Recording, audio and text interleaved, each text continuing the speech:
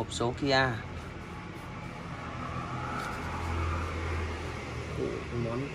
Đây mã này. Này chìm 43000 4i510 đây là hãng sản xuất đây này. Đi Dimon. Dimonson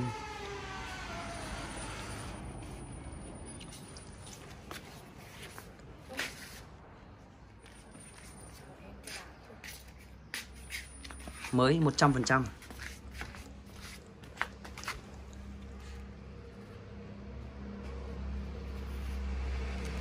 cái này phải về phải cho dầu vào. Phải đổ dầu vào.